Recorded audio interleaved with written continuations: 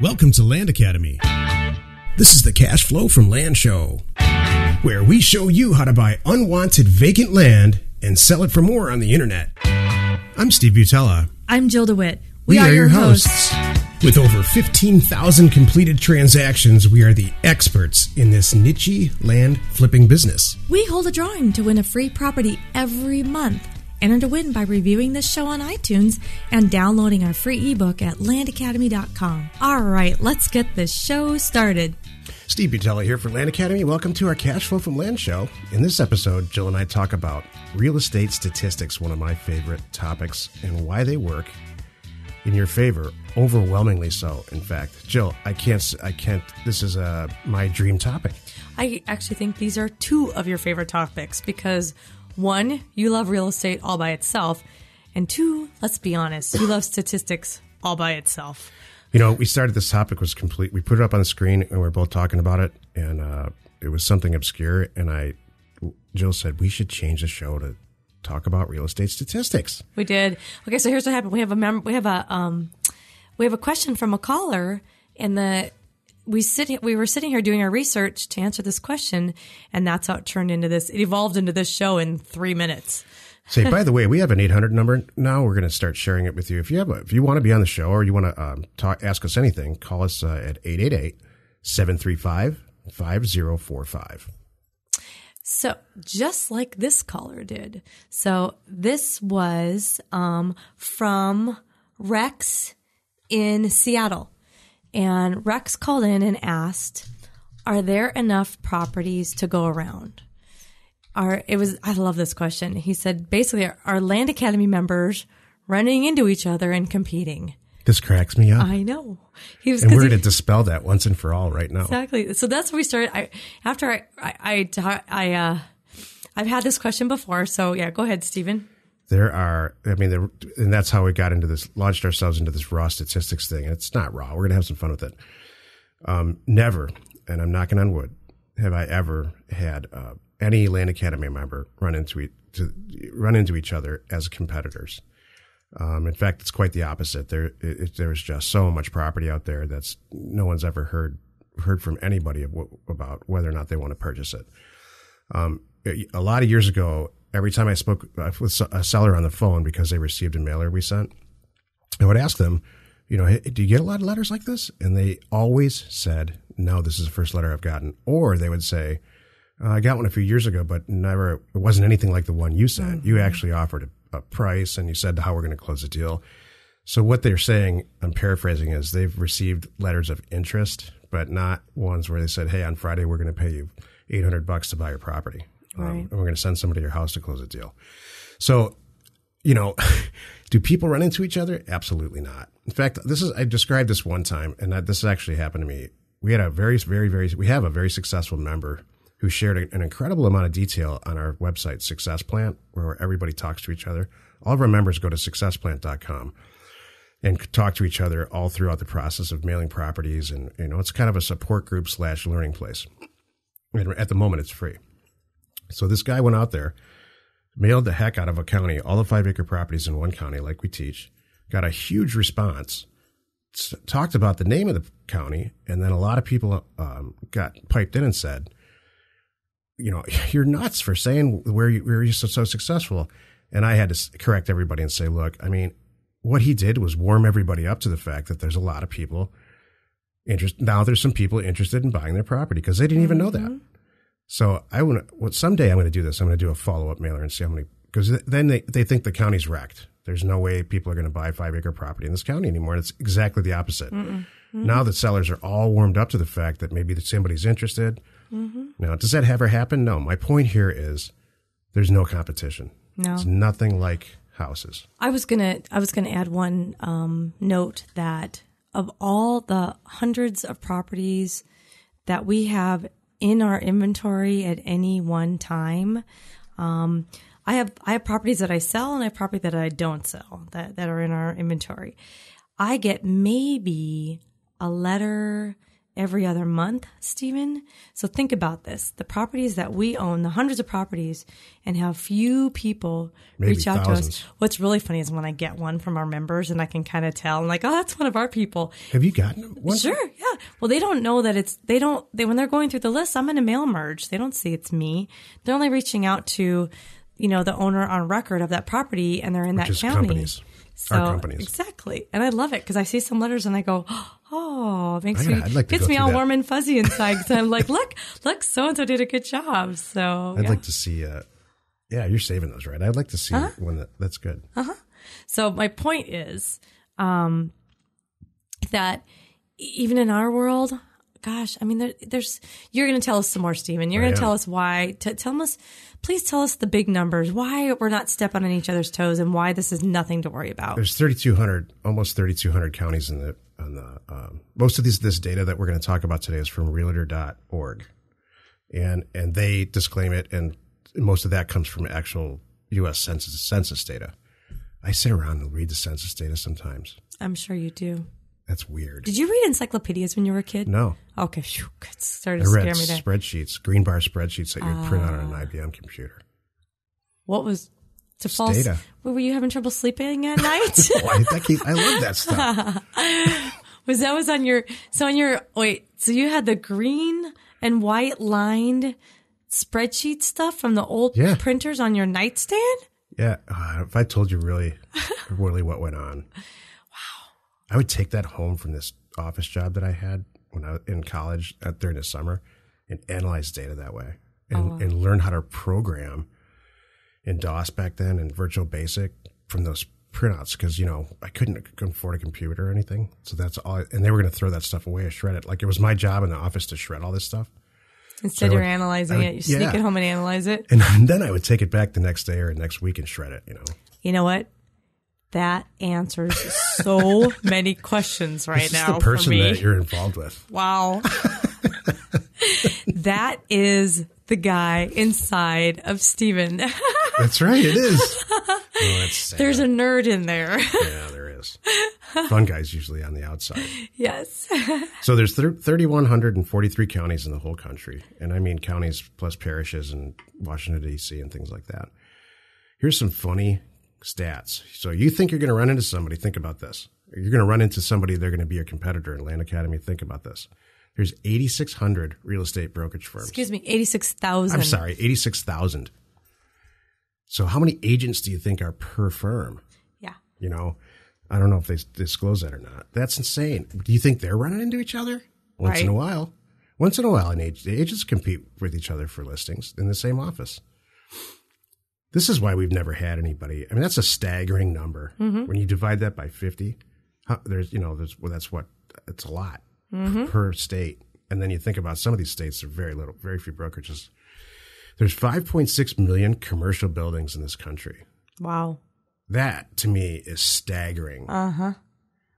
So you think that. about you can't find acquisitions. You can't you can't send a mailer out. Tell me this. I might step on somebody You else's toes. I only have 5.6 million to deal with. Let's say you and say I'm a commercial I'm broker. only going to send mail, and the data that we have, you can pull this data. The data that we sell it contains these statistics. I mean, it contains all the county data is contained in the data that we are licensed to resell. Mm-hmm. So it's not just uh, land that's in there or houses. It's every single property that is in a given county, and it's and 98 percent of the counties are covered. Mm-hmm.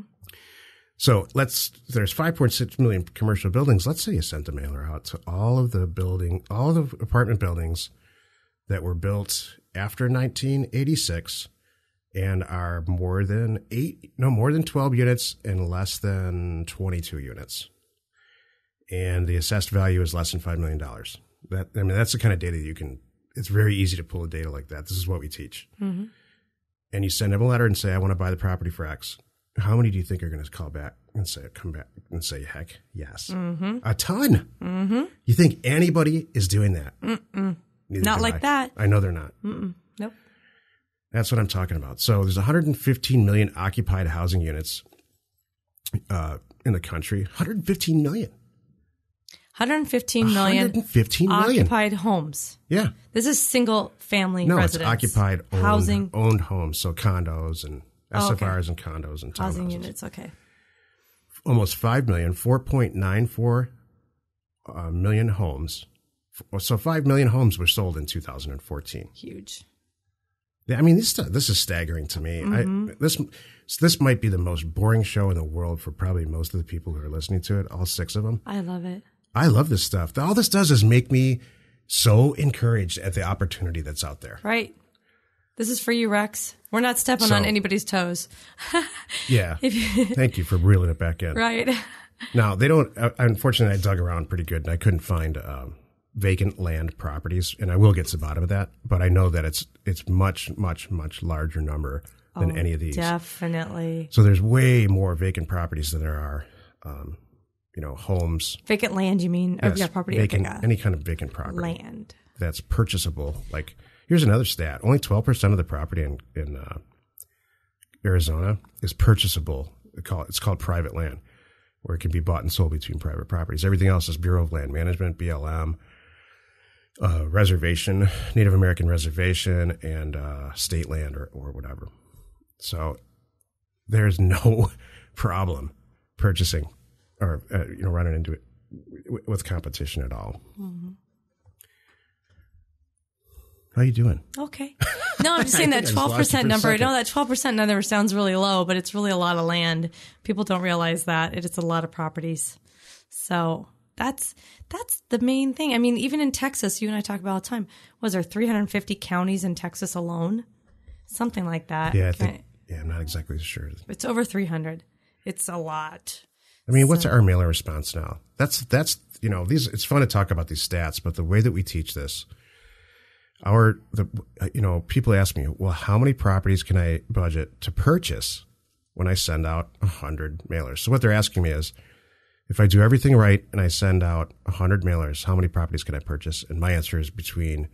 This is for new people now, not mm-hmm. you, Jill, because you could buy fifty but it's more it's closer to i don't know one or two between one and i don't know eight. And that's doing it the way we do it not just back tax property because we'll we include that. Mm-hmm. And it's not property where you send you know we don't send a $500 offer out to property that's assessed for $5 million. Mm-hmm. We send it out for you know a five acre property 500 bucks for a very low assessed value. That's one of the ways that we can mathematically use data is what we teach to send letters to the right people mm-hmm. instead of wasting your time and your money and uh, postage and the whole thing. Exactly. So you're not going to run into anybody. Any other fun, interesting stats that you're seeing there? Well, let's see. I like that one though. Oh, the typical homeowner. Yeah. This is shocking to me. It's interesting. Yeah. The typical homeowner in this country right now is 55 years old. That, I find that interesting. I find that higher than I thought it was going to be. I thought it would be like 32. That's what I thought. So that tells me there's a lot of aging in place going on, and that's going to drive properties down. Property values, I mean, and this is housing now. Right. Housing values down. Right. these people, older people expire. We shouldn't be afraid to say that on the radio. It's just a fact. I'm, I'm sorry.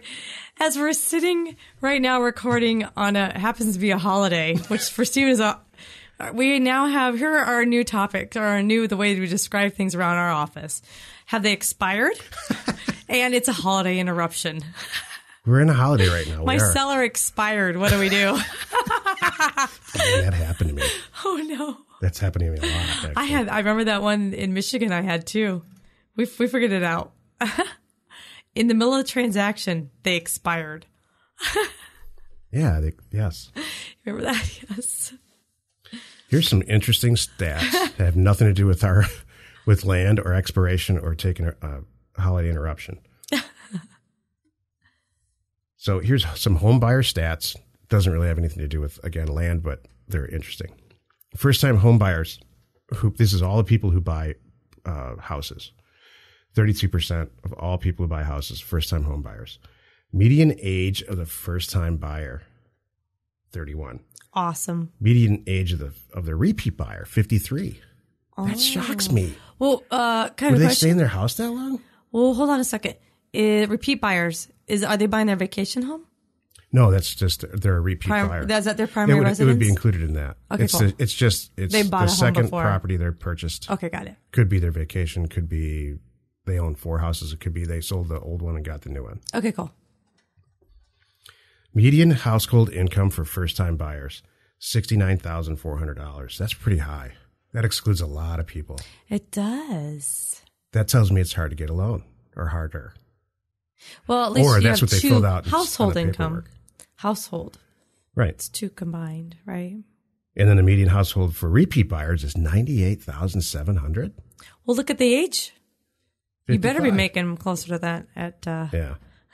well, not necessarily, but right. So the takeaway from this is there's so much opportunity out there. I can't describe it. There is.